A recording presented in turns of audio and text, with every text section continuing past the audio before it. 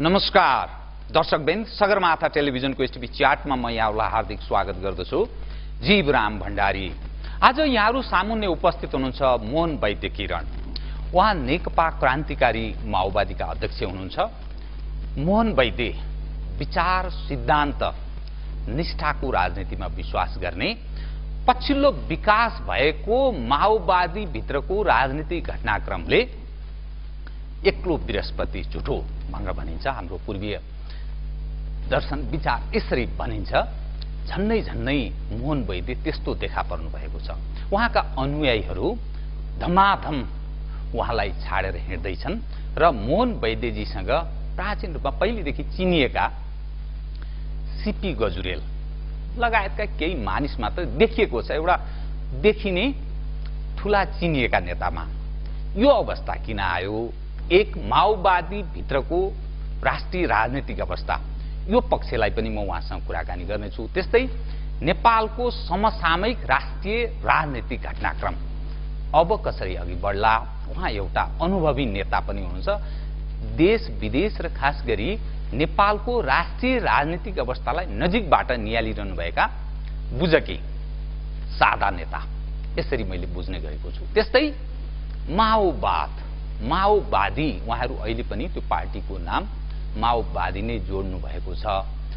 माओले विक्रम सम्मत म नेपाली सम्मतमा भन्छु दुई हजार तेइस सालदेखि दुई हजार तेत्तिस सालको त्यो दस वर्ष जुन बेला उहाँले सांस्कृतिक क्रान्ति गर्नुभयो त्यस बेला ठुलो जनको नोक्सान भएको भनिन्छ दसदेखि पन्ध्र लाख मानिस त्यस बेला मारिए र पुरातात्विक प्राचीन महत्वका सम्पूर्ण संरचनाहरू प्रायश ध्वस्त भयो भनेर भनिन्छ।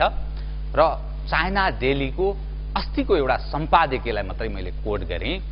मङ्गलबारको सम्पादकीयमा यो it was great mistake cultural रिभोल्युसनलाई त्यो चिनको कम्युनिस्ट पार्टीको मुखपत्रले इट वाज ग्रेट मिस्टेक भनेर लेखेको छ। मैले यो पनि कोट गरेँ। समग्रमा माओवादी भित्रको आन्तरिक राजनीतिक अवस्था नेपालभित्रको माओवाद माओको सांस्कृतिक क्रान्ति र नेपालको समसामयिक राजनीतिक अवस्था। एउटा माओ सेतुङलाई पनि नजिकबाट बुझेका मानिस र नेपालको राष्ट्रिय राजनीतिलाई पनि नजिकबाट असाध्यै बुझेका मोहन वैद्यसँग म यति नै पक्षमा कुराकानी गर्नेछु। सर्वप्रथम म उहाँलाई स्वागत गर्छु। स्वागत छ यहाँलाई। मैले एउटा शब्द प्रयोग गरेँ। माफ गर्नुहोला। एक्लो बृहस्पति झुठो। तपाईँका सम्पूर्ण अनुयायी पुष्पकमल दाहाल तमाम जो जो मानिसहरू हुनुहुन्थ्यो उहाँहरू सबै तपाईँलाई एकपछि अर्को छोड्दै छोड्दै जानुभयो। विप्लव केही समय पूर्व छोड्नुभयो। अब रामबहादुर थापा देव गुरुङ पम्फा भूषाल लगाएका चिनिएका मानिसहरू तपाईँलाई असाध्यै ठुलो नेताको रूपमा श्रद्धा सम्मान गर्थे। तपाईँलाई उहाँले पनि छोड्नुभयो उहाँहरूले पनि छोड्नुभयो। तपाईँ एक्लो जस्तो देखिनुभयो। यो भएको के? यहीँबाट मैले प्रारम्भ गरेँ। अरू विषय पनि म कृपया मैले प्रारम्भमा जो बताएँ ती सबै विषयमा उठान गर्छु। यो भएको के अब गर्नुहुन्छ कि?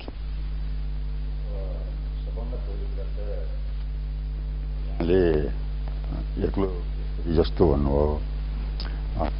त्यो होइन। अब हामीसँग अब भन्नुहोस् अब कमरेड सिपी गजुरेल लगायतका भन्नुहोस् थुप्रै नेताहरू जस्तो हरिभक्त कडेलै भनौँ इन्द्रमोहन सिदेल भनौँ दिनेश शर्मा भनौँ अनि लगायतका थुप्रै नेताहरू हुनुहुन्छ त्यस कारणले के हो भनेदेखि नेताहरू हुनुहुन्छ एउटा चाहिँ राम्रो पङ्क्ति छ त्यस कारणले के भन्नुहुन्छ भनेदेखि म एक्लो छु भन्ने खालको कुराहरू त्यो गलत हो पहिलो कुरा त्यो हो उहाँहरू किन कसरी जानुभयो भन्ने खालको कुराहरू गर्दाखेरि अब यो दुःख लाग्छ हेर्नुहोस्। विचारमा उहाँहरूले एउटा राम्रो तरिकाले सोध्न सक्नु भएको रहेनछ भन्ने लाग्छ।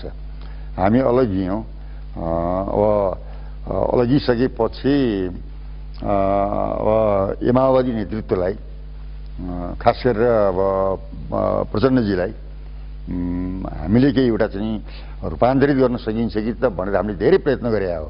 उहाँहरू रूपान्तरित हुनु भएन अब त्यो अवस्थामा बादलजीहरू अब जानुभयो भन्नुहोस् अब जुन एउटा ठुला स्ट्रगल भन्नु बिलाइन सङ्घर्ष भीषण चल्यो आखिर बादलजी अन्तमा आउनुभयो आउँदाखेरि पनि अन्तमा आउनुभएको हो हो केही साथीहरू हुनुहुन्थ्यो अब यहाँ आएर बालजीले काम पनि गर्नुभयो केही तर आखिरमा विचार हो अब उहाँको चाहिँ अब मायामा हो अब त्यही न त्यही चाहिँ अब यो माओवादीसँग भनौँ अथवा चाहिँ हामीले राजनीतिक भाषामा भन्छौँ एउटा नवसंशोधनवादी प्रवृत्ति। अब सायद अब उहाँको चाहिँ अब एउटा मायामा हो अब त्यतैपट्टि भयो विचारले बस्ने हो विचार मिलेन अब उहाँ जानु हो उहाँहरू पछि जानु हो उहाँको आरोप चाहिँ यहाँ माथि के रहेछ भने यहाँ चाहिँ जडसूत्रवादी हुनुभयो। एक्काइसौँ शताब्दी नेपालको राजनीतिक घटनाक्रम जसरी विकास भइरहेको छ त्यसलाई सम्बोधन गर्ने भन्दा पनि उही परम्परागत ढङ्गले सोच्ने त्यसैले यो गन्तव्यमा पुग्न सकिँदैन भन्नुहुन्छ। उहाँहरूको आरोप तपाईँमाथि त्यस्तो छ। अब यो आरोप लगाएको हो हेर्नुहोस्। मलाई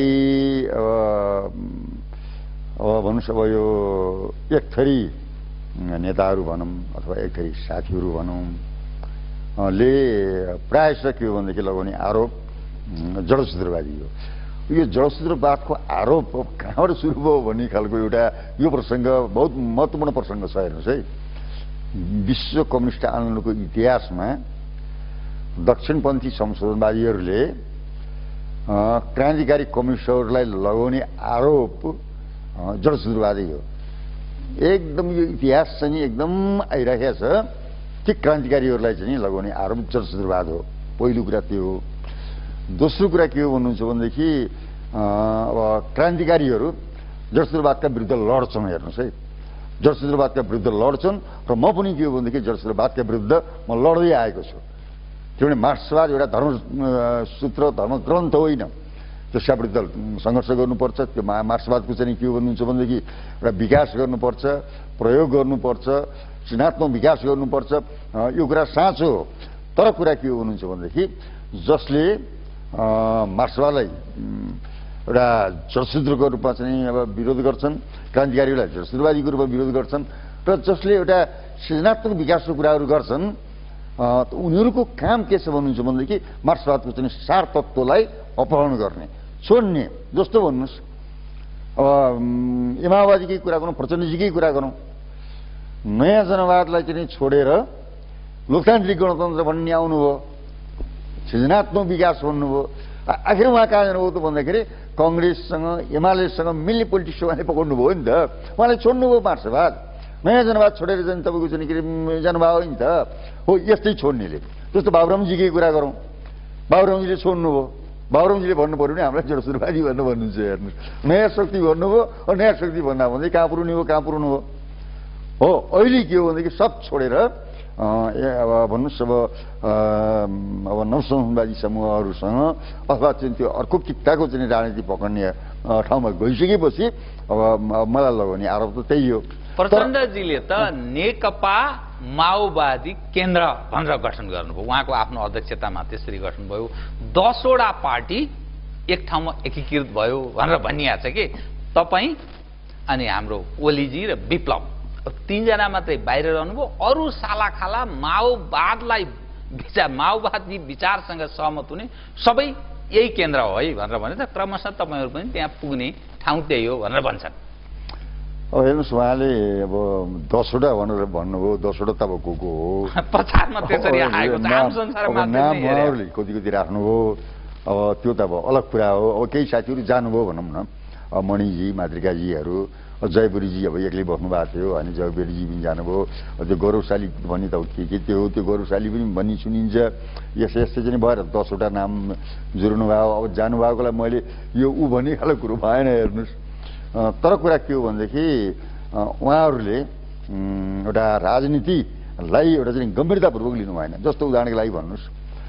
अब हामी पनि यी सबै पक्षले यही यही संविधानको कुरा गरौँ के? यही संविधानको कुरा गरौँ।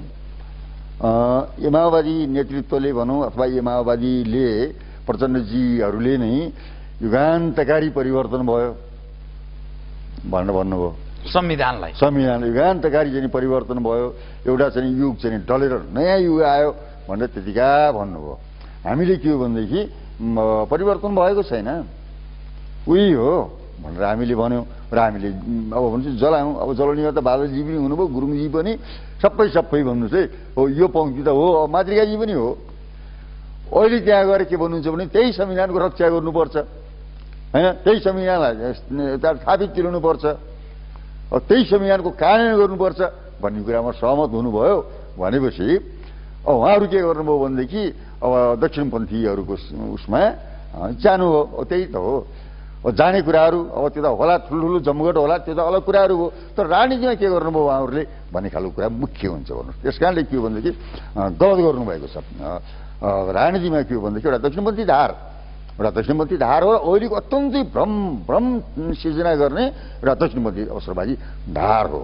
त्यस कारणले चाहिँ अब जतिसुकै होस् समूह होस् केही फरक परेन। अब कहिलेकाहीँ उहाँहरूले भन्नुहुन्छ प्रधानजीले पनि भन्ने गर्नुहुन्छ अब एमालेसँग पनि पार्टी एकता गर्ने कुरा हो।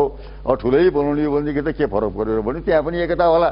त्यस कारणले के हो भनेदेखि एउटा विचारको चाहिँ रक्षा गर्ने विचारलाई चाहिँ एउटा सही ढङ्गले लैजाने कार्यदिशालाई चाहिँ सही ढङ्गले लैजाने हो भने त्यो अप्ठ्यारो बाटो हो हेर्नुहोस्। अप्ठ्यारो बाटोमा उहाँहरू लाग्नु भएन।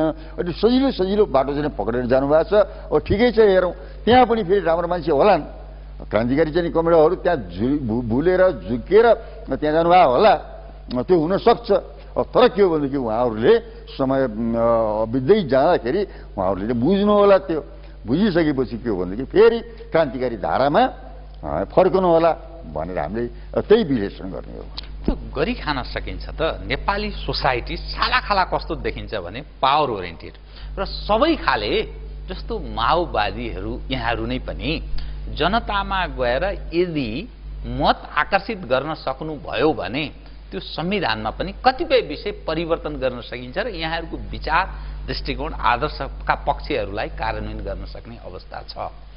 त यो समाजमा जसरी समाज असाध्यै ढुलमुल देखिन्छ कि हाम्रो नेपाली समाज विकास भएको घटनाक्रम हेर्दा त यहाँ है मैले भने एक्लो एक्लो जस्तो देखिया छ कि?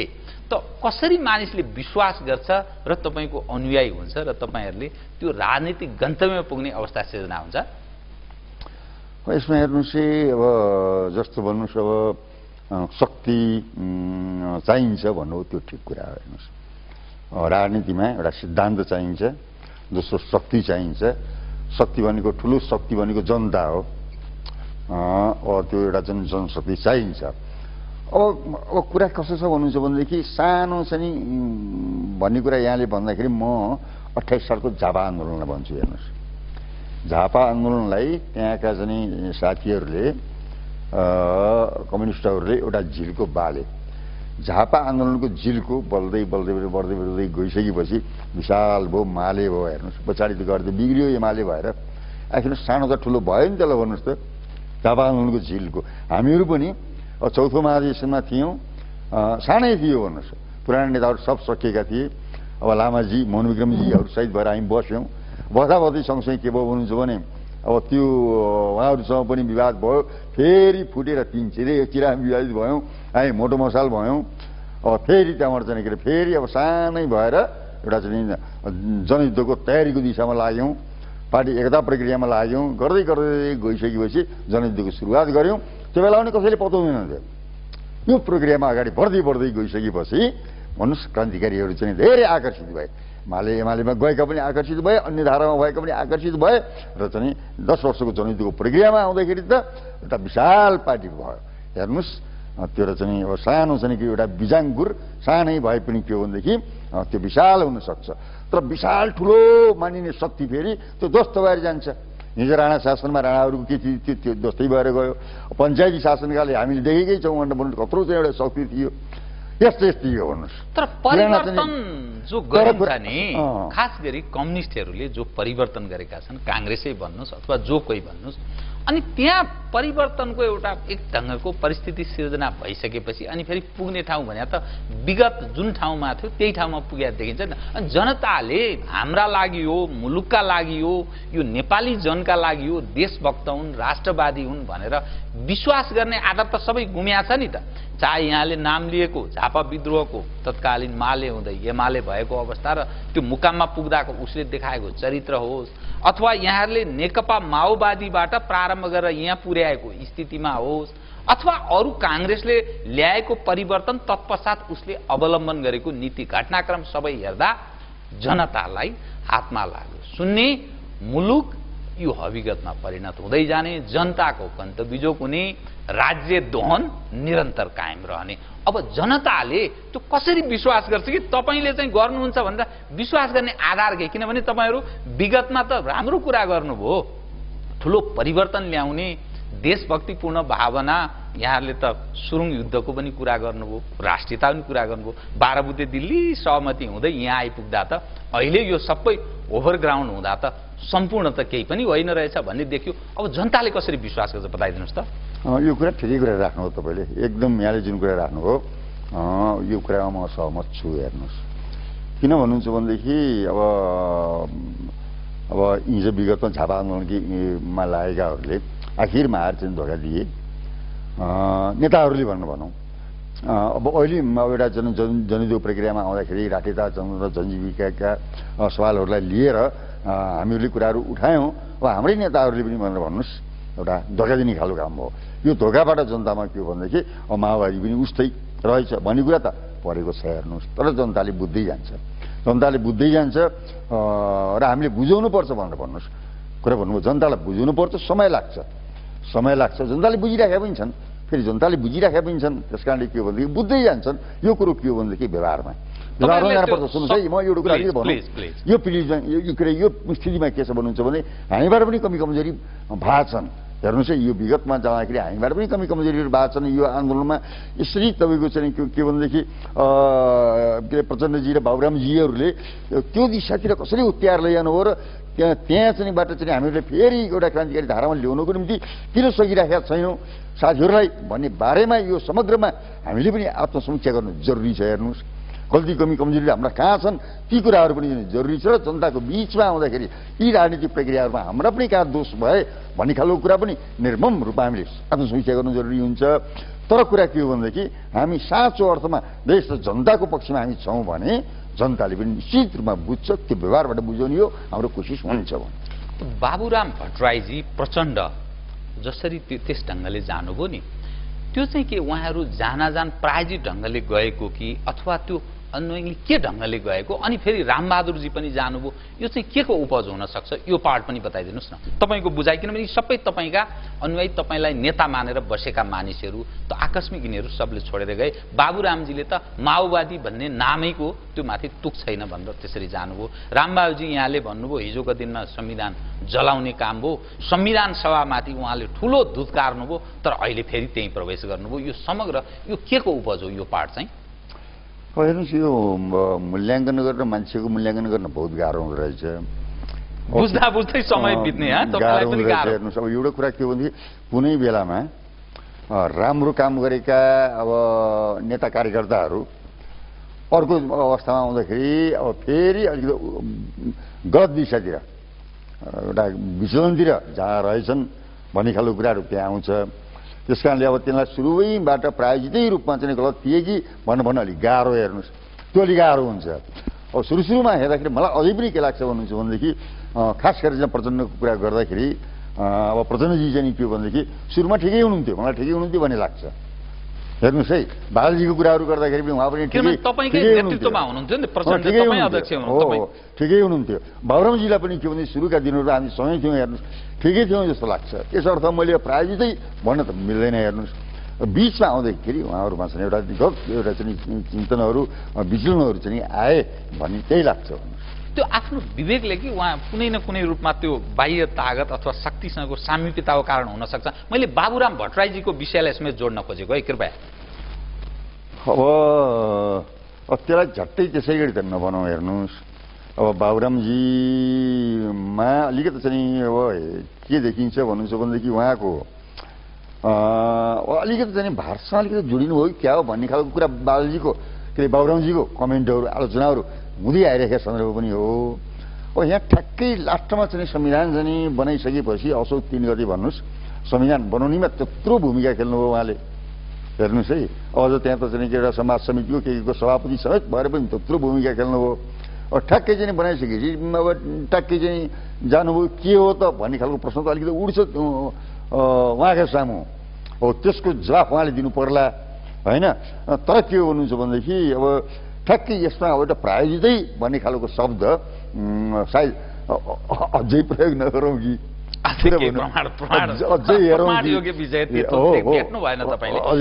रामबहादुर थापाजीको चाहिँ नि किनभने तपाईँसँग यत्रो सहयात्रा गर्नुभयो।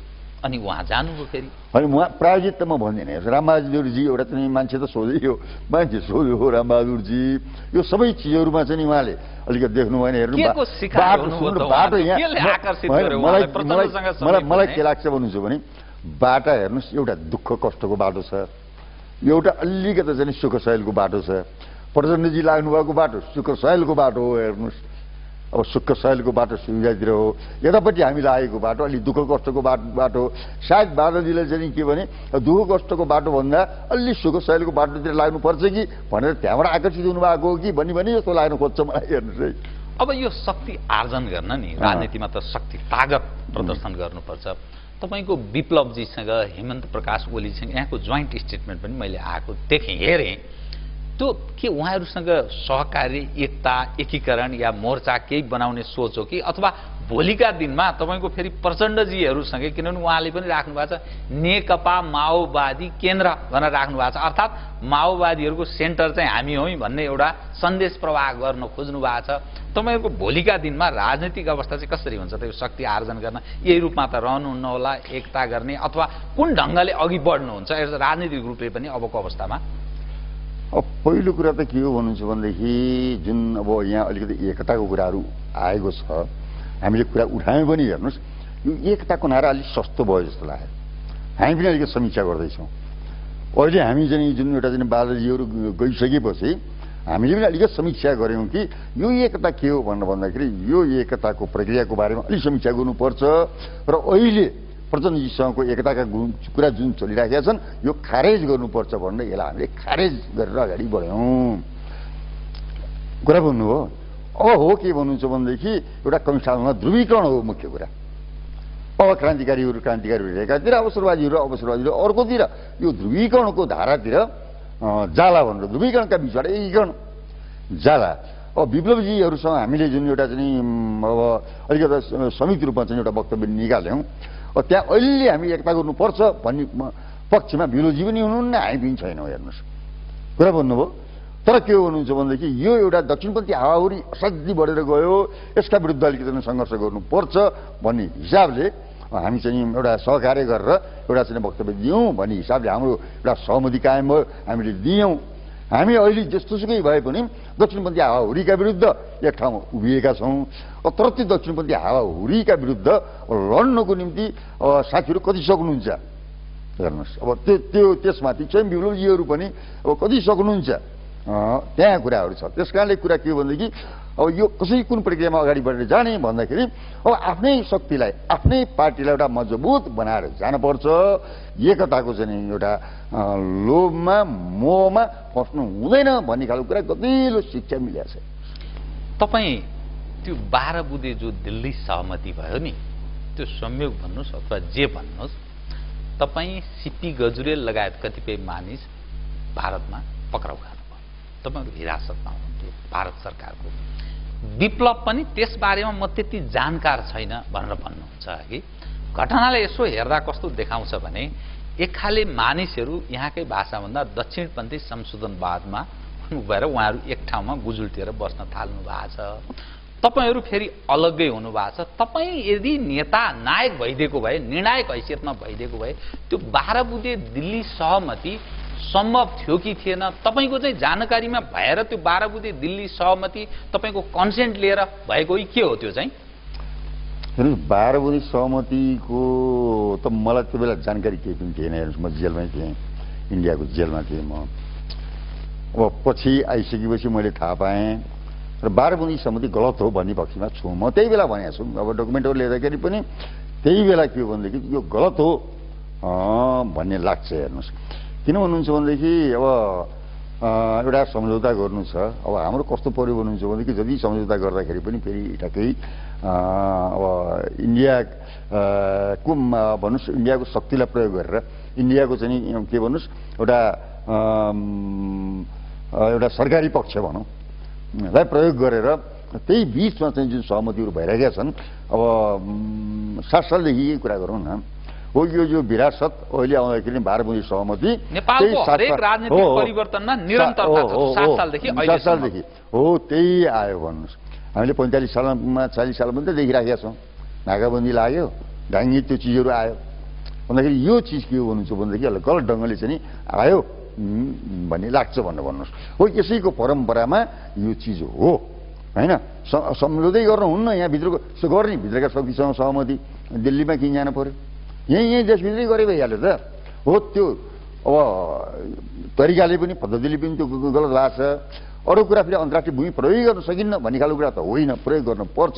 तर के हो भनेदेखि एउटा जनताको साथमा रहेर हामीले गर्न सक्छौँ। किनभने हामी अन्तर्राष्ट्रियतावादी पनि हौँ। तर के हो भन्नुहुन्छ भनेदेखि भारतीय सरकारको एउटा चाहिँ रेखदेखमा चाहिँ भएको भन्ने बुझिन्छ र पछि उनीहरूले भनिहाले नि त। माओवादीलाई चाहिँ एउटा जङ्गलबाट चाहिँ के अरे यो यतापट्टि चाहिँ कि मैदानमा चाहिँ झार्नको निम्ति हामीहरूको ठुलो भूमिका छ भनेर त उनले त भनिहाले त। होइन? त्यो चाहिँ खण्डन कसैले पनि गरिराखेको छैन। भन्दाखेरि हो यो यो घटना प्रक्रियाहरू चाहिँ यो भारतबुझेको घटना प्रक्रियाले कहाँ जोडिन्छ भनेर भन्नुहुन्छ भने अनि अब यो माओवादीको नेतृत्व संसदीय व्यवस्थाको विरुद्ध किन जान सक्दैन? हेर्नुहोस् संसदीय व्यवस्थाको विरुद्ध उहाँहरू के भन्न त संसदवादको विरोध गर्नुपर्छ भनेर भन्नुहुन्छ। होइन? तर के हो भनेदेखि आखिरमा उहाँले चाहिँ भन्ने मात्रै हो। त्यो त्यो चाहिँ इङ्ल्यान्डको चाहिँ के अरे खालको चाहिँ एउटा संसदवादको त उहाँले विरोध गर्नुहुन्छ तर समग्र संसदवाद होइन? अमेरिकी संसदवाद यी सबैको त विरोध गर्नुहुन्न उहाँहरूले त। भन्दाखेरि त्यो के हो भनेदेखि त्यो दिल्लीको विरासत। त्यो हो भनेर भन्नुहोस्। यो हरेक चिजहरूमा। जाँदाखेरि के हो भनेदेखि एउटा सम्झौतावादी सम्झौता गर्नुपर्छ कुनै बेलामा सम्झौतावादी ढङ्गले जानुभयो। त्यस कारणले के हो भनेदेखि यो दिल्ली सम्झौता अब भन्नुहोस् सम्भवतः अब हेर्नुहोस् प्रायोजित भन्ने खालको कुरा यहाँ आउन सक्छ। अब कति बुझ्नुभयो उहाँहरूले? त्यो कुरा एउटा कुरा भयो। त्यो हुन सक्छ होइन? हुनसक्छ प्रायोजित के हो भनेदेखि दिल्ली सम्झौता के अरे के अरे बाह्र बुँदीमा त्यहाँ हुनसक्छ उहाँहरू बुझेर त्यो गर्नुभयो कि उहाँहरू फस्नुभयो? त्यो त पछि हेरौँला। तर त्यहाँ के हो भनेदेखि एउटा प्रायोजित त्यहाँ हुनसक्छ तर तपाईँहरूलाई पनि नि त्यो बाह्र बुद्धे दिल्लीमा नभएर बेजिङमा भएको भए चाहिँ तपाईँहरू गौरव गर्नुहुन्थ्यो स्वीकार्नुहुन्थ्यो भन्ने दृष्टिकोण राख्ने आलोचकहरू छन् नि त्यस्तो पनि दृष्टिकोण राख्छन्। त्यो त भइहाल्यो हेर्नुहोस् अब दिल्ली के अरे बेजिङमा भएको भन्ने कुरा बिल्कुल चाहिँ त्यो भएको। भए चाहिँ मान्नु खोजेँ। मानि- मानिँदैन चाहिँ जहाँ सुकै भएको भए पनि त्यो गलत चिजलाई गलतै भनिन्छ। किनभने त्यो बाह्र बुँदे भन्दाखेरि दिल्लीको इन्डियाको चाहिँ के अरे अन्तर्वस्तुको दृष्टिकोणले अन्तर्वस्तुको कुराहरू हेर्ने हो फेरि। अन्तर्वस्तुको दृष्टिकोणले त एउटा एउटा गन्ध त छ त त्यहाँ त। हो अन्तर्वस्तुका दृष्टिकोणले त्यस्तो खालको गन्ध नआउने भयो भनेदेखि त अब त जहाँ पनि हुनसक्ला फेरि। जब त्यो अ, इन्डियामै भएको भन्ने कुरा भएन अन्तर्राष्ट्रियवादी भएको नाताले त्यसमा सह- सहमति त विश्वको जुनसुकै कुरामा पनि हुनसक्ला। तर त्यो हुँदा कुरा बुझ्नुभयो त्यसको अन्तर्वस्तु कहाँबाट प्रभावित भएको छ भन्ने खालको कुरामा निर्भर गर्छ त्यो कुरा। अहिले तपाईँले सुनिरहनु भयो होला नि विभिन्न सञ्चार माध्यममा नि आछ एक खाले मानिसहरू राष्ट्रवादी त्यो हावा पनि फुकिरहेछन्। खड्ग प्रसाद ओली हाम्रो देशका प्रधानमन्त्रीजीले जो स्ट्यान्ड लिनु भएको छ त्यो चाहिँ बडा राम्रो छ। तसर्थ यो सरकारलाई हामीले सहयोग गर्नुपर्छ।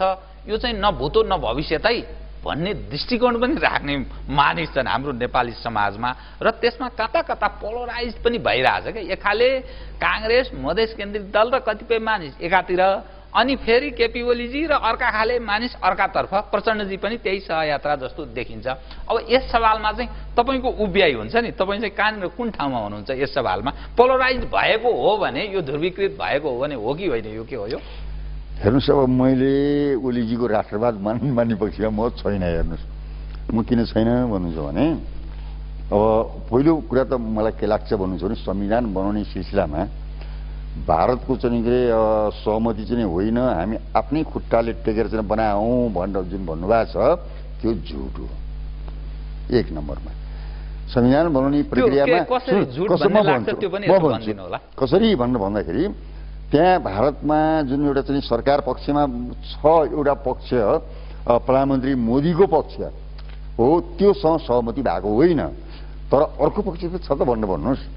प्रतिपक्ष त छ त होइन? भन्दाखेरि अर्को पक्ष अरू पक्षसँग त सहमति हो। अन्य पक्षको त सहमति हो।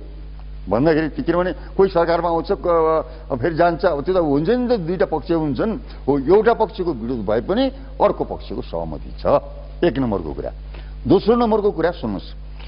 ओलीजीसँग प्रधानमन्त्रीजीसँग हामी ग हामी एउटा जुन नाकाबन्दीको कुराहरू आयो नि त हो त्यो बेलामा हामी डेलिगेसन भएर गएको थियौँ हेर्नुहोस्। प्रधानमन्त्रीजीसँग भन्यो यत्रो चाहिँ यो नाकाबन्दी यस्तो चिजहरू हुँदाखेरि सबै असमान सन्धि सम्झौता त खारेज गर्नुपर्छ नि त टेरेर बस्नु भएको छ तपाईँहरूले खारेज गर्नु पर्दैन यी सब सब अप्पर कर्णाली लगायतका यी सब सब चिजहरू सातसालदेखि यत्रोसम्मका असमान सम्झौता खारेज गर्नु पर्यो नि त। हाम्रो चाहिँ एउटा निर्वाध पार्वन अधिकारमाथि यत्रो चाहिँ धावा बोल्दाखेरि टेरेर बस्नु भएको छ? भनी भनी टाइपको कुरा चाहिँ हामीहरूले उहाँसँग गरेका हौँ। अब हेर्नुहोस् अहिले त यही चाल छ। झन् त्यो झन् त्यो खारेज गर्दा कुन चाल होला? त्यस कारणले यो सकिँदैन हेर्नुहोस् भन्ने टाइपको भावमा उहाँले कुरा गर्नुभएको थियो। ल तपाईँ राष्ट्रवादी हुनुहोस् त सबले समर्थन गर्छन्। भन्ने खालको कुराहरू थियो हेर्नुहोस्। होइन त्यो चाहिँ त्यो ढङ्गले। त्यो होइन तर अलिकति एउटा कुरा ओलीजीले जुन एउटा चाइना तपाईँले यहाँले चाइनाको कुरा पनि ल्याउनु भयो पार्वनको निम्ति चाहिँ त्यहाँ गएर त्यो जुन एउटा भारतको एकलौटी हो त्यसलाई त तोड्नु हो त्यसलाई त एउटा चाहिँ धन्यवाद दिनैपर्छ ओलीजीलाई। तर समग्रमा के हो भनेदेखि राष्ट्रवाद भन्ने खालको कुराहरू होइन। अहिले देखियो नि त सहयात्रामा जाने प्रचण्डजीकै कुरा देखियो। ल हेर्नुहोस् न ठ्याक्क दिल्लीसँग सरसल्लाह गरेर जग जाहेर छ। अब आफ्नै सहयात्राको चाहिँ अब एमालेलाई ढालेर कङ्ग्रेससँग चाहिँ मिलेर फेरि ड्याङ्ग सरकार बनाउने चाहिँ अब त्यो त्यो पोजिसनमा लाग्नुभयो। अनि त्यही हो राष्ट्रवाद भन्नुहोस् त। अनि त्यो आकस्मिक फेरि यु टर्न भएको देखियो नि। त्यो के हुनसक्छ तपाईँ अलि बुझकी नेता भएको हुनाले प्रचण्डलाई राम्ररी बुझ्नुहुन्छ। यो घटनाक्रम नेपालको राजनीतिमा नि आकस्मिक आकस्मिक भइरहेछ कि? यो चाहिँ के भएको हुनसक्छ एउटा विश्लेषण मात्रै सोध्न हेर्नुहोस् अब यसलाई धेरै विश्लेषण गर्नुभन्दा पनि कुरा के हो भनेदेखि अब नेपालका अब थुप्रै थुप्रै राजनीतिज्ञहरू राजनीतिक पार्टीहरू गफ लगाउँछन् धेरै हेर्नुहोस्। आफ्नो खुट्टामा उभिँदैनन्। आफ्नो खुट्टामा उभिँदैनन्। कहाँ कहाँ बैशाखी टेक्छन् हेर्नुहोस् ती बैशाखी टेक टेकाउने शक्तिहरूले कतै कतैबाट त्यहाँ इसारा गरेको हुनुपर्छ भन्ने मलाई लाग्छ। हेर्नुहोस्। हो त्यो नभनौँ अहिले म अब यहाँको ध्यान नि। माओवाद र माओवादीमा केन्द्रित हुन्छु है। मैले अघि प्रारम्भमा अलिकति। तितो जस्तो पनि यहाँलाई लाग्यो होला। माओले म तेइस सालमा जन्मेको रहेछु। त्यो मैले पढेको कुरा म बताइरहेको छु तेइस सालदेखि विक्रमसम्म दुई हजार तेइस सालदेखि दुई हजार तेत्तिस सालसम्म लगभग दस वर्षको उहाँले सांस्कृतिक क्रान्ति भनेर जसरी गर्नुभयो। त्यस बेला दस लाखभन्दा बढी पश्चिमाहरू त पच्चिस लाख भनेर भन्छन्। उनीहरूले उनीहरूको रेकर्डमा त्यस्तो देखाउँछ। तर दस लाखभन्दा बढी मानिस मारिएका छन्। पुरातात्विक महत्त्वका संरचनाहरू ध्वस्त गरिएको छ र मैले चाइना डेलीको मङ्गलबारको एउटा सम्पादकीयलाई मैले उद्धृत गरेँ। त्यो सम्पादकीयले it was great mistake cultural रिभोल्युसनलाई त्यसरी भनेको छ। त्यो चिनिया कम्युनिस्ट पार्टीको मुखपत्र हो त्यो पत्रिकाले। चिनको शासक पक्ष नै जो चिनले यत्रो प्रगति गरेको छ यत्रो उत्थान गरेको छ संसारलाई अहिले उसले हल्लाएर राख्न सकेको छ अमेरिकासँग नेक टु नेक जो प्रतिस्पर्धा गर्ने अवस्था पुगेका छ त्यो त्यहाँको शासक पक्ष नै त्यो भन्छन्। तपाईँहरू चाहिँ माओ माओवाद माओवादी भन्ने अहिले पनि त्यो पुच्छर जोडेर हिँडिरहनु भएको छ छोड्नु भएको छैन। यो देखिँदा त बडा ऊ देखिन्छ। यहाँ जस्तो एउटा शालीन भद्र व्यक्ति किन त्यो त्यो विचारबाट किन त्यसलाई बोकेर हिँडिरहनु भएको छ? यो पार्ट बताइदिनुहोस् त। अब यसमा सबभन्दा पहिलो कुरा त यो सरकार सांस्कृतिक क्रान्तिको बारेमा अब माओको निधन पश्चात चिनको कम्युनिस्ट पार्टीले त्यो गलत हो भनेर पहिले नै भनेको थियो त्यो आज भनेको कुराहरू होइन। कुरा भन्नुभयो त्यो पहिले नै धेरै अगाडि नै भन्नुहोस् न। धेरै अगाडि नै चाहिँ भनेको हो र सभा सांस्कृतिक क्रान्ति गलत छ भनेर उसले भन्दै आइरहेका छ। अब अब यो इतिहासमा के हुन्छ भन्नुहुन्छ भनेदेखि मूल्याङ्कन गर्ने सिलसिलामा हरेक पार्टीहरूले आफ्नो विगतको जुन एउटा मूल्याङ्कन गर्न गर्छन् र विगतका कुराहरूलाई अब भन्नुहोस् अब एउटा नयाँ ढङ्गले एउटा प्रस्तुत गर्ने पनि गर्छन्। त्यो चिनिया कम्युनिस्ट पार्टीको कुरा भयो त्यो। त्यो किन माने पहिले अनि पछि किन विरोध गरे त्यो उहाँहरूको कुरा भयो। अब हाम्रो कुरा के हो? अथवा हामीले बुझेको कुरा के हो भन्नुहुन्छ भनेदेखि तपाईँ चाहिँ त्यो सांस्कृतिक क्रान्तिको किन एडभोकेसी गर्नुहुन्छ? हुनुहुन्छ भन्न खोजे? ओ, कुरा अब यहाँ के आउँछ भन्नुहुन्छ भनेदेखि अब सांस्कृतिक क्रान्तिको कुराहरू गर्दाखेरि यद्यपि त्यहाँ कमी कमजोरी सीमाहरू के के रहे होलान् भन्ने लाग्छ एउटा कुरा। हुन सक्छन् तर समग्रमा एउटा के देखिरहेछ भन्नुहुन्छ भनेदेखि अब कम्युनिस्ट पार्टी सत्तामा चाहिँ के अरे पुगिसकेपछि ओ कुरा त्यहीँ आउँछ कि विश्वमै आउँछ जहाँ पनि आउँछ कि सत्तामा नपुग्दासम्म अब ठिक हुने सत्तामा पुगेपछि गल्ती कमी कमजोरी गर्ने भन्ने खालको कुराहरू यो कम्युनिस्टहरूमाथि एउटा सरसानो मान्छेले पनि लगाएको चार्ज हो हेर्नुहोस् है। त के हो भन्नुहुन्छ भनेदेखि सत्तामा गएपछि सत्ताको मोह भएपछि सायद तपाईँको आफ्नो वर्गलाई होइन? एउटा चाहिँ तल्लो वर्गलाई जुन एउटा सम्झाउनु पर्ने हो सायद बिर्सिनै जान्छ होला। त्यो भावनाले किन शुद्धिकरण अभियान चलाउनु पर्छ। माओले बारम्बार शुद्धिकरण अभियान भनेर त्यो पार्टीभित्र भन्दै आएको कुरा अझ अगाडिको कुराहरू हो। लाग्छ त्यो शुद्धिकरण अभियानको एउटा विकसित रूप एउटा सर्वहारा सांस्कृतिक क्रान्ति हो। त्यो सर्वहारा सांस्कृतिक क्रान्ति हो र यो एउटा पार्टीभित्रको पनि भीषण भन्नु एउटा अ, दुराइन सङ्घर्ष र फेरि के हो भनेदेखि त्यो एउटा वर्ग सङ्घर्षकै रूपमा फेरि त्यहाँ अभिव्यक्त भयो। ती चिजहरू निश्चित रूपमा हुन्। र हामीले हेर्दाखेरि के हो भनेदेखि अब चिनिया चिनमा एउटा प्रसङ्गमा कसरी गरे के भयो त्यो अलग कुरा भयो उनीहरूको मूल्याङ्कन गर्ने कुरा अलग कुरा भयो। हामीलाई चाहिँ के त्यो मन परेको कुरा के हो भन्नुहुन्छ भनेदेखि रूपान्तरित हुनुपर्छ। कम्युनिस्टहरू रूपान्तरित हुन जरुरी हुन्छ। रूपान्तरित हुनको जरुरी माओले भनेको कुरा हेर्नुहोस् है। अरूलाई आलोचना तपाईँ खुब गर्नुहुन्छ। आफ्नो टाउकोमा आफै आगो सल्काउने कि नसल्काउने भनेर माओले प्रश्न गर्नुभएको छ कि? कुरा बुझ्नुभयो? हामी कम्युनिस्टहरूले आफ्नो टाउकोमा आफै आगो सल्काउनको निम्ति तयार हुनु कि नहुने हुनुपर्छ भन्ने जुन मान्यता हो हो यो दृष्टिकोणले के हो भनेदेखि त्यहाँ चाहिँ हामीलाई मन परेको हो हेर्नुहोस् है। होइन कसरी भएको रहेछ भने नि त्यस बेला चिनको जनसङ्ख्या लगभग पचहत्तर करोड रहेछ। त्यो पचहत्तर करोड भएको बेलामा दसदेखि अब पच्चिस लाखको कुरा गर्छन्। मैले दस लाखभन्दा अलिक बढी भनेर भने यहाँहरूले पनि सरस्वती हेर्दा त्यो जनयुद्धकालमा सत्र हजार मानिस चाहिँ कतिलाम भएको छ। यो या त्यो पक्ष यहाँहरूको आफ्नो पक्ष पनि छ अरू सरकारी पक्ष छन् गैर कम्युनिस्टहरू पनि मारिएका छन्। र पछि प्रचण्ड जब सत्तामा आउनुभयो। उहाँले फेरि त्यो पशुपतिको विषय मैले पुरातात्विक महत्त्व मैले जोड्न खोज्या पशुपतिको त्यो भट्ट फेर्ने कुरा एकाले काहीँ न काहीँ त्यो पुरातन पक्षलाई समाप्त पार्ने नयाँ ढङ्गले जाने भन्ने काहीँ न काहीँ त्यसबाट प्रभावित भए जस्तो देखिन्छ। त यो समग्रमा त्यो कसै कतै त्यो नक्कल गर्न खोजे जस्तो र त्यसरी त्यो असफल भएर फेरि उहाँ चाहिँ परिष्कृत हुँदै गएको छ। तर यहाँले चाहिँ एडभोकेसी त्यो रूपमा गरिरह हुनाले त्यो ग्याङ अफ फोरको जो कुरा पनि छ त्यस बेला जुन ढङ्गले वितण्डा मचियो चिनमा भन्ने इतिहास पनि त्यस्तो पनि छ। यो चाहिँ किन यसो गरिरहनु भयो यहाँहरू किन त्यो अनुयायी भइरहनु भयो भनेर त्यसको नेगेटिभ पक्षलाई चाहिँ यहाँको बुझाइ के छ भन्ने मैले आम जनसमक्ष बताउनु बताउनुहुन्छ है भन्न खोजेँ। ठिक छ। अब यो त्यहाँको मैले भनिहालेँ चाइनाको प्रसङ्गमा त्यो त्यो कुरा हो। र के हो भन्नुहुन्छ भनेदेखि त्यहाँ एउटा सकारात्मक पक्ष छ। त्यहाँ कमी कमजोरी सीमा होलान् भन्ने खालको कुरा त्यो छ मूल्याङ्कन गर्नुपर्छ। अझै पनि मूल्याङ्कन गर्नुपर्छ हेर्नुहोस् है। कमी कमजोरी सीमाको हामीले विरोधै गर्नुपर्छ। तर मूल रूपमा के हो भने त्यहाँ सकारात्मक पक्ष छ भन्ने हामीले मानेको कुरा भयो। भयो। अब यहाँ चाहिँ आउँदाखेरि अब जस्तो अब भट्टको कुरा गर्नुभयो यहाँ चाहिँ पशुपतिनाथको अब यो कुरा अलि अलि विचारणीय छ हेर्नुहोस् है। यो कुरा पनि हामीले अब हामी आफूलाई देशभक्त भन्नेहरूले यो बुझ्नु जरुरी छ। अब पशुपतिनाथको भट्ट इन्डियाबाट आएर भट्ट हुनुपर्ने किन भन्नुहोस् त? भट्ट हुनुपर्ने त जरुरत त छैन त त्यहाँको। त नेपाली नेपाली हुनु पर्यो हुनु पर्यो नि त त्यो त। नेपाली मान्यतामा आधारित हुनु पर्यो हो त्यो हो त्यो त गलतै छ अब चाहे जेसुकै होस् प्रचण्डजीहरूले सरकारमा भएको बेलामा त्यो गरेको त म पनि सकारात्मकै मान्छु हेर्नुहोस् त्यो त त्यो त हो त। त्यसै बेला त्यो कटुवाल फेर्ने प्रकरण। पनि। आयो नि फेरि सेनामा पनि। त्यो काहीँ न काहीँ एउटा ठुलो छलाङ मार्ने प्रयत्न कटुवाल सुन त्यो अल- अलग हो हेर्नुहोस् कटुवाल फेर्ने प्रकरणमा त्यो त्यो ठिक हो भन्ने मलाई लाग्दैन हुन त म पनि त्यहीँ थिएँ हेर्नुहोस् म एउटा कुरा सम्झना गराउँछु हामी एउटा अलग भएर यहाँ आइसकेका छौँ। ए त्यो त्यसमा सुन्नुहोस्, तपाईँ सहमत म- हुनुहुन्थ्यो। सुन्नुहोस् है मलाई यहाँ के भनियो भन्नुहुन्छ भनेदेखि यहीँ हामी भित्रका चाहिँ नि अलिकति चाहिँ अब अब उग्रपन्थी जडसुरवादी भनिन्छ नि हामीलाई गाली गर्नु पऱ्यो भने त्यही भनिन्छ। हो यही हिस्साको हो भनेर अलिकति त्यो सन्देश दिन खोजियो हेर्नुहोस् र बिल्कुल गलत हो। र त्यो प्रकरणमा कुरा के हो भनेदेखि यो अब ठिक हो कि होइन के हो भन्ने कुरा मैले जाने के अरे प्रचण्डजीलाई तपाईँले विचार गर्नुहोस् है भनेर दुई तिन पटक मैले भनेको छु। म के उपयुक्त हुने के हुने हो भन्ने खालको कुरा म अहिले भन्न म त्यति सक्दिनँ। तर यो चिज ठिक हो कि होइन भन्ने खालको कुरा तपाईँले आफै आफ्नै तरिकाले बुझ्नुहोस् भनेर मैले उहाँलाई धेरै पटक भनेको हो। कुरा भन्नुभयो वास्तवमा हुनुहुन्छ भनेदेखि त्यहाँ धेरै प्रसङ्ग र धेरै कुराहरू त्यहाँ छन् हेर्नुहोस्।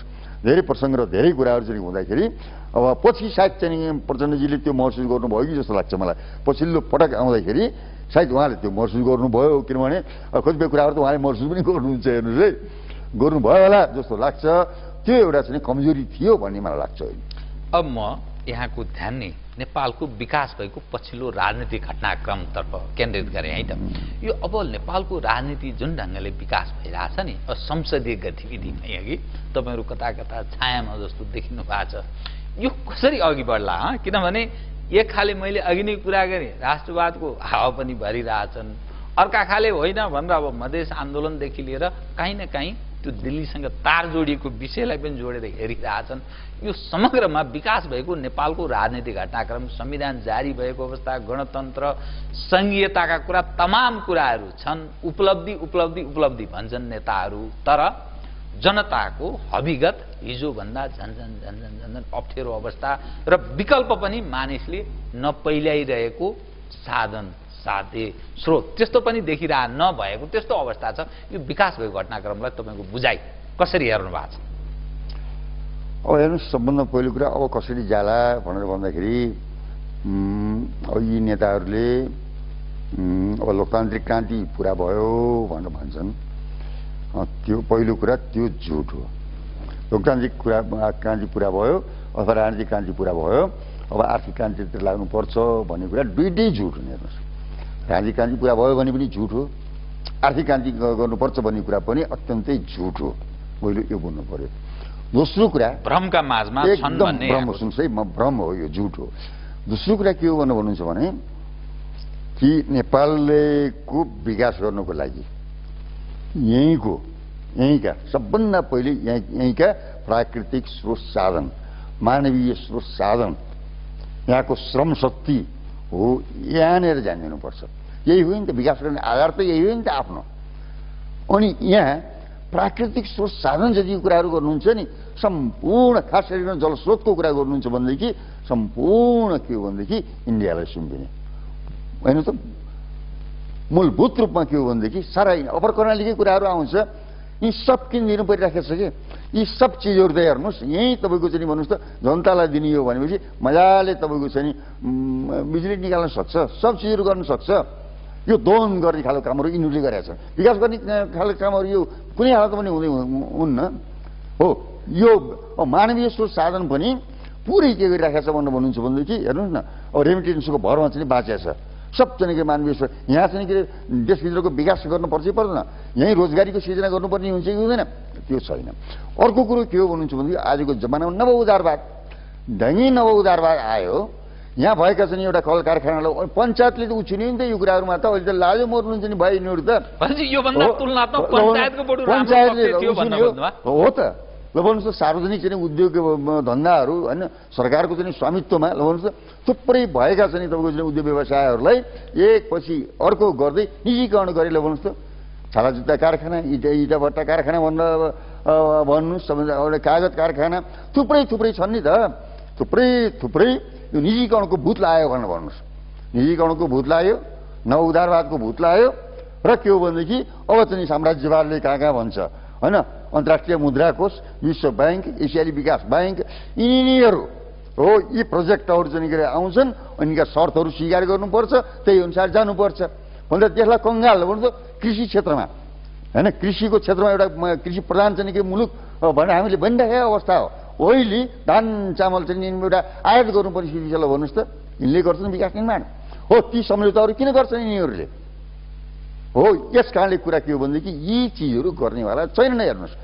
होइन राष्ट्रिय स्वाधीनतालाई पनि यिनीहरूले खतम पार्ने जनतन्त्रको कुरा गर्नुभयो भनेपछि जस्तो भन्नुहोस् न जनतन्त्रको कुरा गर्ने लोकतान्त्रिक क्रान्ति पुरा भयो भनेर भन्ने भन्नुहोस् त मजदुर किसान महिला दलित त छँदै छ यिनको कुरै उठ्दैन हेर्नुहोस्।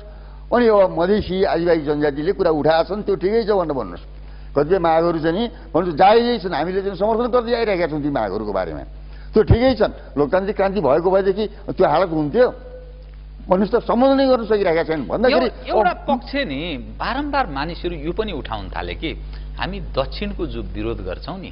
भारतीय विस्तारवाद भारतीयहरूको चाहिँ सारा मानिस चाहिँ तिनका अनुयायी भए यहाँका राजनीतिक तागतहरू त्यसका भए भनेर भन्छौँ। त्यसो भन्दा उत्तर र पश्चिमाहरूलाई चाहिँ प्रयोग गर्ने तागतले बढ्ता त्यो जोड दिइरहेछ। फलत यो चाहिँ रणभूमि बनाउने प्रयत्न भइरहेछ है। भारतको विरोध गर्ने अनि पश्चिमाहरू र उत्तरको तागतलाई प्रवेश गराएर यो चाहिँ हाम्रो दुईटा बलिया हात्ती माया गर्दा पनि भिड्दा पनि ध्वंस चाहिँ आखिर त्यो फुलबारीको हुन्छ भने जस्तै हाम्रो अवस्था त्यस दिशातर्फ उन्मुख गराउने प्रयत्न हो है भन्ने यो दृष्टिकोण राख्ने मानिस पनि रहेछन् हाम्रो समाजमा। यसलाई यहाँको यहाँको विचार सुनौ त यो विचार राख्ने मानिस पनि छन्। अब भन्नुहोस् त्यो विचार राख्ने मान्छे छन् होला हामीले चाहने कुरा के हो भन्नुहुन्छ भने कि अब भन्नुहोस् अब हामी यदि ठुला दुईवटा यस्ता मुलुक छन् जसको चाहिँ भूभाग पनि ठुलो छ जनसङ्ख्या पनि ठुलो छ अर्थतन्त्र पनि विकसित छ हेर्नुहोस् महालयमा चिपुमा परेर हामी बसेका छौँ।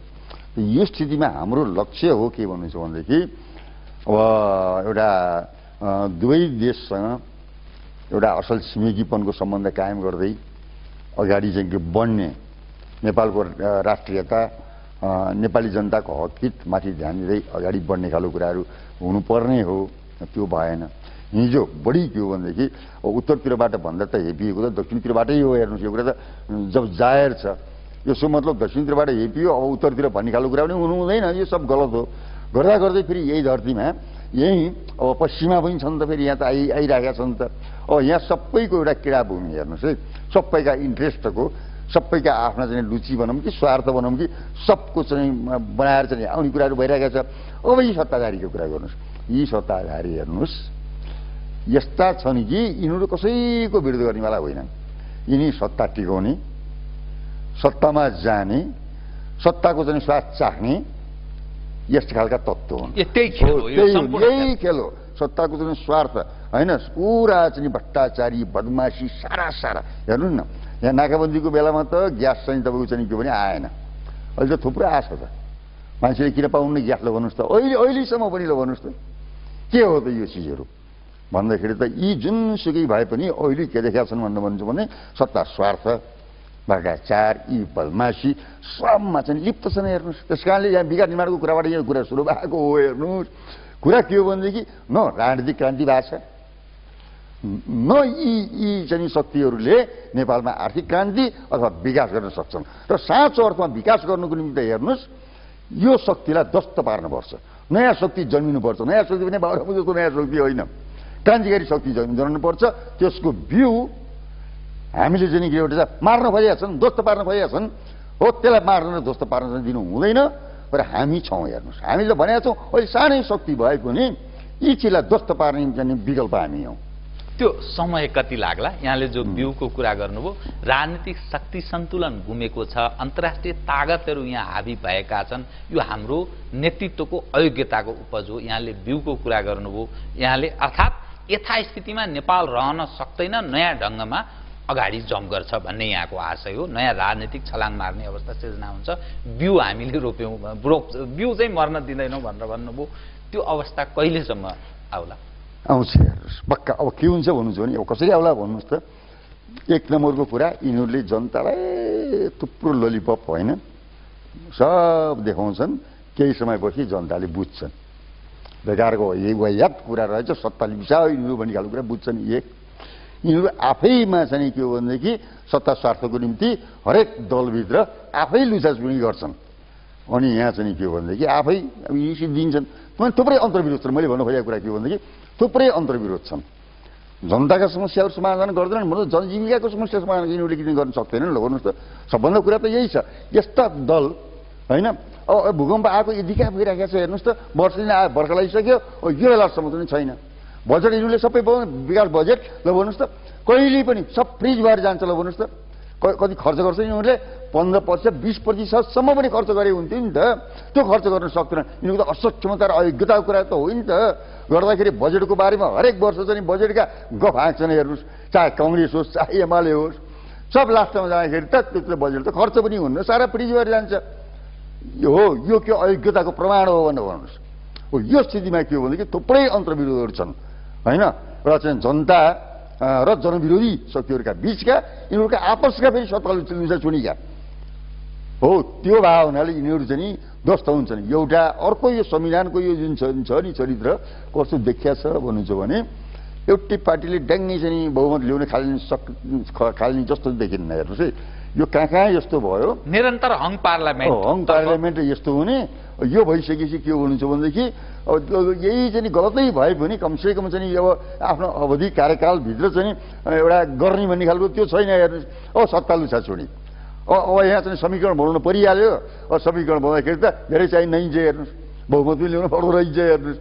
सानो शक्तिले फेरि चाहिँ नि अब सत्तामा चाहिँ के अरे पुरा चाहिँ आफ्नो वर्चस्व कायम गर्ने। हो यस्तै यस्तै। त्यो बहुदलीय व्यवस्थामा त्यही भएको त हो नि होइन हामीले जनयुद्ध सुरु गर्ने बेलामा त्यही त भएको हो त। हो यही यही भएर सत्ता लुछाचुडीमा यिनी सिद्धिन्छन्। जनताले देख्छ हेर्नुहोस्। हामी आफ्नो शक्तिलाई चाहिँ आर्जन गर्दै जान्छौँ। निश्चित कुरा यो बिचमा हामीले समय लाग्छ हेर्नुहोस् है। समय अलिकति लाग्छ। समय लाग्छ अब फेरि हामी के हो भनेदेखि एउटा नयाँ ठाउँमा नयाँ ढङ्गले हामी उपस्थित हुन्छौँ भन्नुहोस्। त्यही हो कुरा। नेपाल निरन्तर अस्थिरतामा छ। अब मैले कार्यक्रमको ठ्याक्क अन्तिममा आएँ कि एकदम छोटकरीमा बताइदिनुहोस् त। तर समग्रमा जति कुरा गर्नु राम्रो कुरा गर्नु यहाँले। तर विश्वास जनताले फेरि पनि किन गर्छ र कसरी सम्भव छ विश्वास गर्ला र तपाईँहरूलाई पनि? पहिलो कुरा त के लाग्छ भन्नुहुन्छ भनेदेखि जनताले एउटा चाहिँ क्रान्तिकारी शक्तिलाई विश्वास गर्छ। हेर्नुहोस् है हामी बिचमा यो जुन जनताले के बुझाएको छ भन्नुहुन्छ भने सबैलाई सोलो डोलो एउटै हो भनेर आरोप लगाउन सक्दैन लया छैन भनेर भन्छ। हामी सत्ताको चाहिँ त्यो लो म लोभमा त्यसमा हामी लागेका छैनौँ यो कुरा सबले देखिराखेको छ। हामी त एउटा चाहिँ प्रतिपक्षको रूपमा माओवादी नै भए पनि एउटी धारामा पनि हामी लगातार प्रतिपक्षको रूपमा छौँ। हो अहिले हामी कमजोर निश्चित रूपमा छौँ। त यो चिज के हो भनेदेखि हामी सक्छौँ भन्ने खालको कुरा। अब हामीलाई के छ जनताले भन्नुहुन्छ भनेदेखि विचारले कुराले त अब ठिकै भन्छन् यिनीहरूले। अब काममा गर्ने हो किन भनेर भन्छन् हेर्नुहोस्। हाम्रो कमेन्ट छ त्यो सबैको छ। अब हाम्रो ध्यान कहाँ जान्छ भन्नुहुन्छ भनेदेखि अब व्यवहारमा जान्छ। हामीले सिद्धान्तको कुराहरू गरिरहेका छौँ सिद्धान्तको रक्षा गर्ने कुरामा जान्छौँ अब विकास गर्ने कुरामा जान्छौँ हामी सिद्धान्तको। सिद्धान्तको प्रयोग गर्ने कुरामा जान्छौँ अब हामी व्यवहारमा जान्छौँ। र हाम्रा गल्ती कमी कमजोरीहरू छन् अब हामी छैनौँ भन्ने खालको कुराहरू आउँदैन।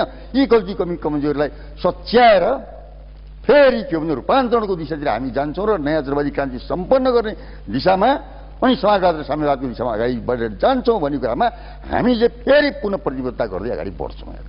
जनताले विश्वास गर्छ। हस् धन्यवाद। धन्यवाद यहाँलाई। आदरणीय दर्शक बेनी उहाँ हुनुहुन्थ्यो मोहन वैद्य किरण नेकपा क्रान्तिकारी माओवादीका अध्यक्ष। म लगायत मेरो सम्पूर्ण युनिटलाई कार्यक्रमबाट बिदा दिनुहोस् तर सगरमाथा टेलिभिजन हेर्दै गर्नुहोला। नमस्कार।